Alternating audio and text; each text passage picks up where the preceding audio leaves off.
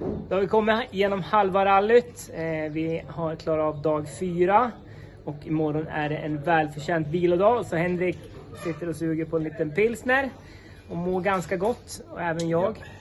Eh, idag har varit en lite speciell dag. Vi ska ha tre sträckor. Eh, totalt cirka 25 mil SS. Vi körde nästan alla dem. Vi körde första sträckan, hela andra och vi körde halva tredje sträckan. Eh, och sen pep det till i den GPSen som vi har i bilen eh, att eh, sträckan var struken. Så ungefär fem mil in på tredje sträckan då, eh, ja, som sagt, fick vi slag på tempot och rulla till, till nästa vägkorsning. Så vi genomförde nästan hela dagen eh, och lite beroende på vad de gör med resultatet där på sträcka 11 som de också strök. Så under sträcka 11 gick vi upp i ledningen med cirka en och en halv minut. Men jag vet inte om de kommer stryka hela sträckan eller om de kommer räkna resultatet på de 12 bilarna som kom i mål och sen stryka den. Så vi, vi får se vad som händer. Så att, antingen så startar vi i ledning med cirka en och en halv minut.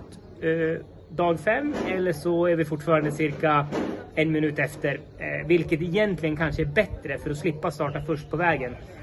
Det vore jätteskönt att slippa starta först på vägen.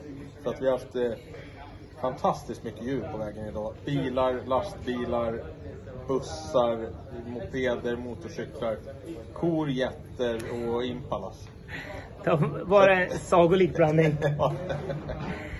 Men so far so good. Eh, vi är skitnöjda med eh, det vi har åstadkommit än så länge och vi har lyckats hålla oss till planen vilket har varit att gasa på där vi ser men ta det väldigt försiktigt där det är styggt.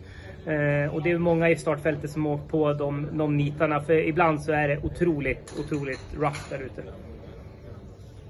Ja, vad säger Henke? Bra. Skål och tack eller? Skål och tack!